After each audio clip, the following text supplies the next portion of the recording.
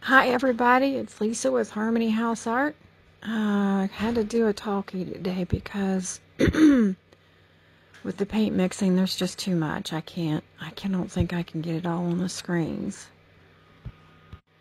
Okay, so today I started out with, I tried to get a good um, variety of the different kinds of paint you might run into some of everything, I hope, so you can see how I do it. I'm not saying it's the right way, it's just how I do it. And I do like my paints a little on the thick side. So we'll just start out with this Amsterdam. it's pretty typical for the Liquitex Basics in Amsterdam. I just I don't measure anything. I just squirt it in the bottom. And then add the Floetrol, and I'm going to call this like a four parts Floetrol, one part paint. I think these are three ounce cups. And stir like crazy.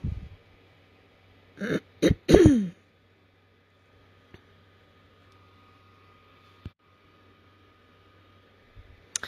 you'll be able to see, I think, uh, when I drizzle or whatever you call that off the stick, it's it does leave a puddle for a minute or a second or a few seconds. You can see. I still don't have all the Floetrol mixed in that one, but you can see the, I think maybe the consistency. That's all I do. That's in fact that's probably 95% of all everything I do is just like this. I love the Amsterdam, so I use it a lot. But I wanted to give you kind of an overview of the different things. Um, I, this deco art, I love this gold. And I do it a little differently just because it, it's a different, it's just a different paint. So I just dump it out, no measuring, and I'm going to call this probably a one part paint to one part Floetrol. I do like to leave these metallics on the thicker side. In fact, in this one I got, I had, I actually put in too much Floetrol. And I'm going to add a little paint back to it just to get it kind of, I don't like that milky look. And if you've never used Floetrol, it does, the white does dry clear, but so and so that means your paintings will dry darker than what you're mixing. But um, there we go. Get that gold back in there. So, um, but I do like the metallics a little thicker. I don't like it to look milky. And sometimes the Floetrol, if you overdo the Floetrol with the metallics, you get that milky look and it doesn't sell very, very well. So there you go. And that's a little thicker, thicker consistency.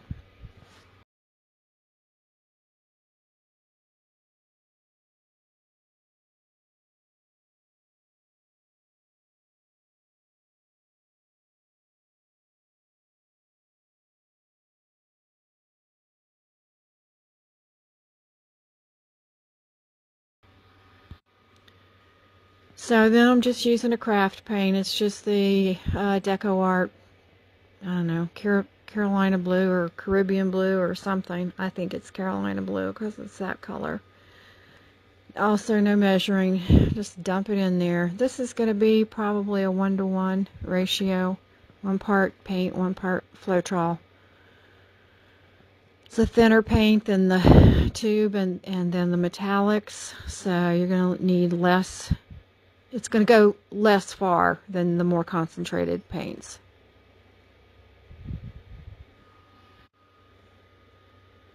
And there you can see that consistency as well.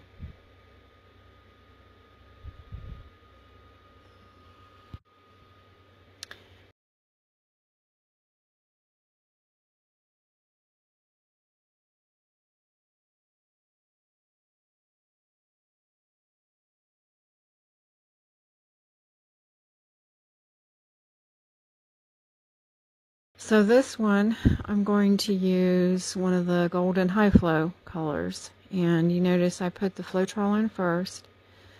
And then I can determine, I, I usually start with just a few drops of color and see if it's the tint I want.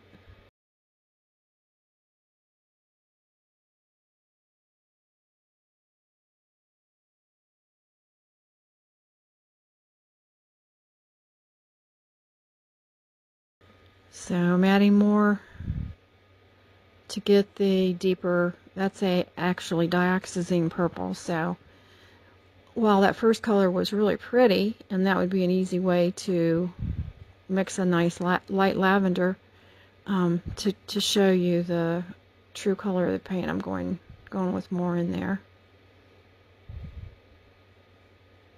Make, making sure, and th this paint is actually transparent, so that's why we're having, it's a little, uh, taking more paint to color the Floetrol.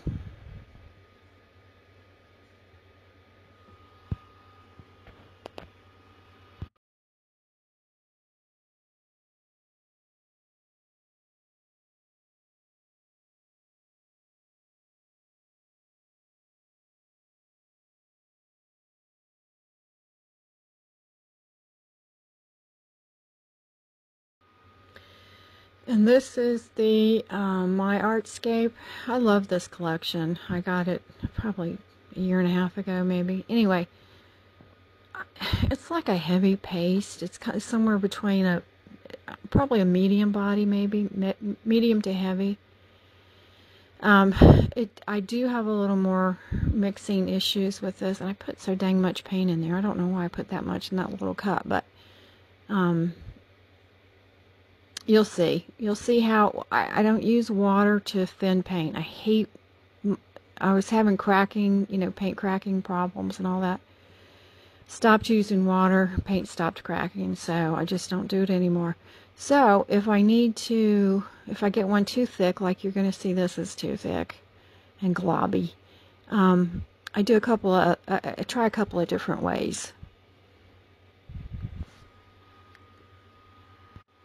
You can just see how thick and globby that is. I, I put way too much paint in there, but this is going to be a good excuse to show you how I thin my paints if I if they need to be thinned.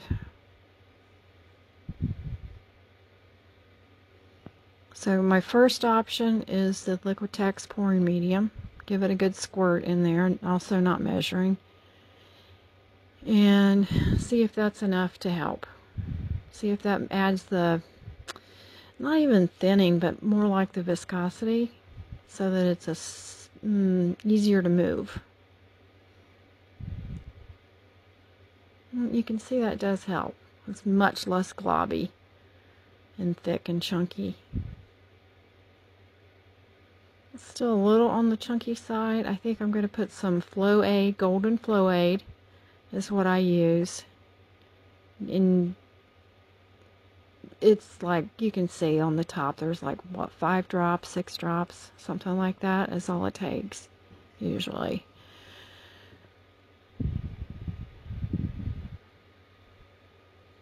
Mm, that's much better much better. That stuff's great.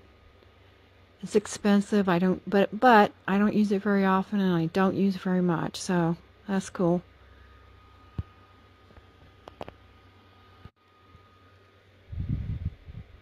can see how much better that is there. That's about right. Like I say, I do like my paints on the thicker side.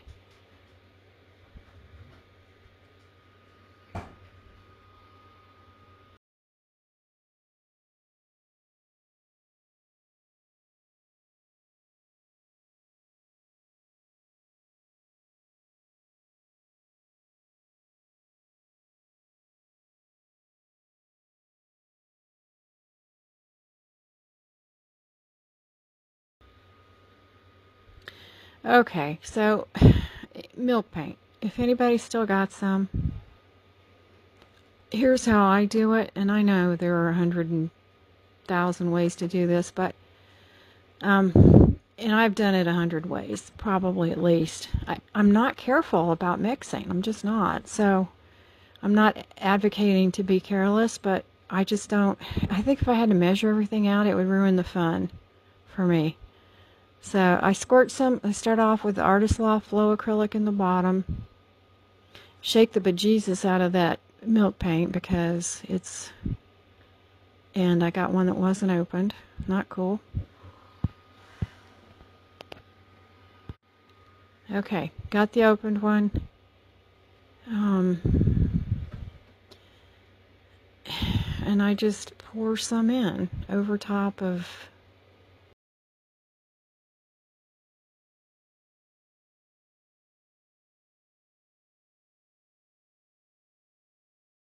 the artist loft. I mean, could you call that one to one? Probably. Yeah, it's half and half. Here's the other thing I do because I don't have any white left. I add the golden high flow titanium white to dye that winter harbor as light as I can get it without ruining the milk effect. I haven't even added Floetrol yet. This is just me playing in the paint.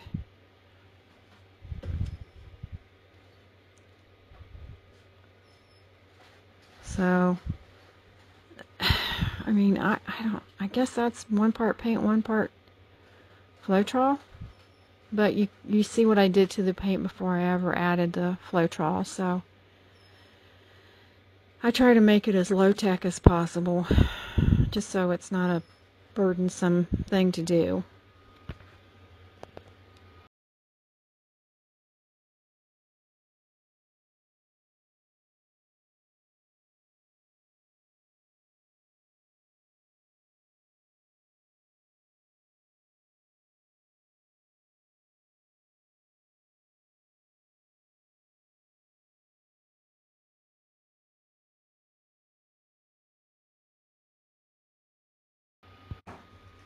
Okay, here we go. Golden heavy body. Yes, these paints are expensive, but when you see how little paint I use, it, it makes sense why they're they're actually pretty affordable. Uh, one little blob, yeah, add a second little blob. There you go. There you go. Not I, am guessing this ratio is going to be more like an 8 to 1 maybe, or 10 to 1. It takes a little more mixing just because it is a heavier, denser paint, very highly pigmented.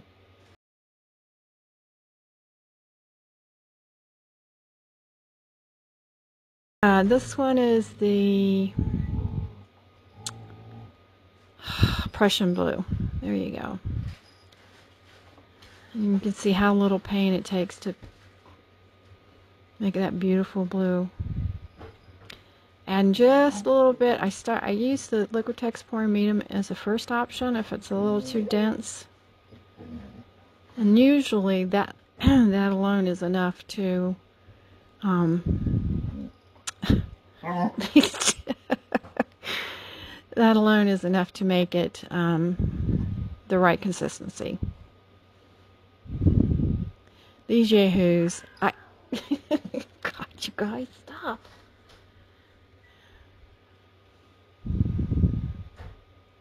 So there you go. A little bit of flow aid.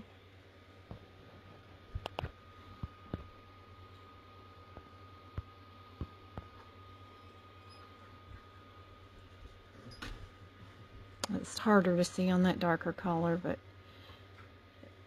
just about the same consistency. Leaves the puddle for, or pool, yeah, puddle for a minute. Leaves a form, a mound.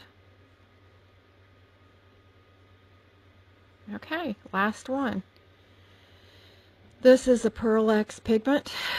I don't know if any of you guys have played with the pigment powders. Do you have to do them a little differently, or I do them a little differently? I start out with just a little bit of real pouring medium, not Floetrol. So there's just a, just enough to cover the bottom of the cup.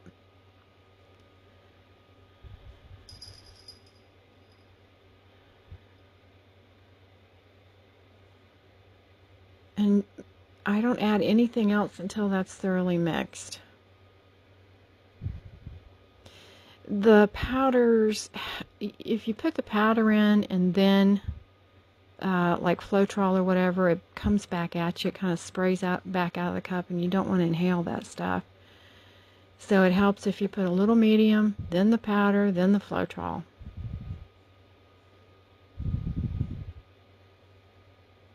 And honestly, this one, it, you don't even need the Floetrol. You could just, if I had more uh, Liquitex, I would just do purely Liquitex and the, and the pigment powder.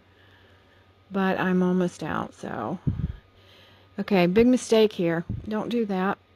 Um, that is a pain in the neck to get mixed up. Um, adding pigment after you've already got a partial mix is just a mess and it it clots and lumps and makes just it's just a pain to get get it right after that anyhow you can see that's pretty thin there we go a little bit more Liquitex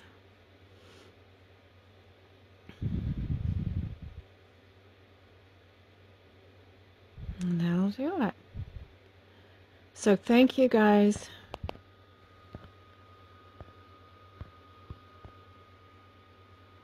Thank you so very much for watching. It means the world to me. It really does. I love you guys. Wonderful people. So thank you for being here, and I hope this helps you get your paints mixed up. All right. Thanks for watching. Talk to you soon. Bye.